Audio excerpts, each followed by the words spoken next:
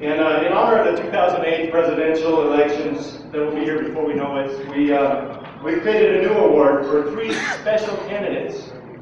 We call it the Just Say No Award. And the nominees are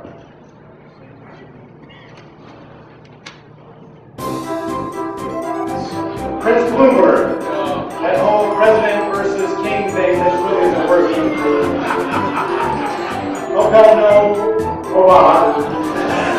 Is creating too many problems with homeland security. Not again, Clinton. In the world of the great philosopher Berra, it's like they got the all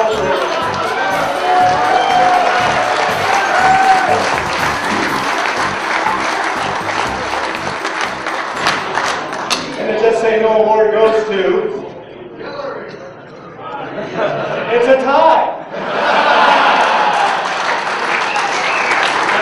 Unfortunately, none of those candidates were able to be here tonight. We'll present the award at a later time.